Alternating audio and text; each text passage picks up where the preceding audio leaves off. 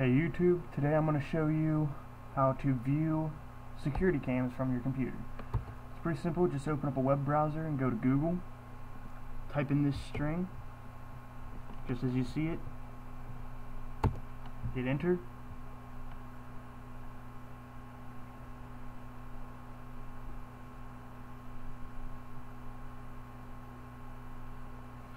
A lot of times it'll give you this, you just type in the letters and it'll continue.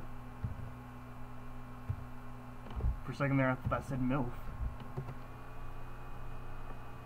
Okay, and then you just click on one of the, any of these actually. A lot of them, some of them you need a password for, most of them you don't. I'm to go back to this one. Because I know it works.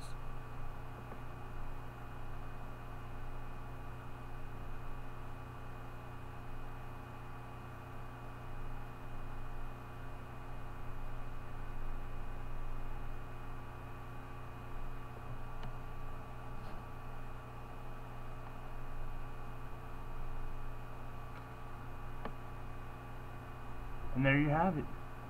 It's a bar called the sandbar. And that's its security camera. Pretty easy to do. You don't really need any special knowledge. That's my tutorial. Peace.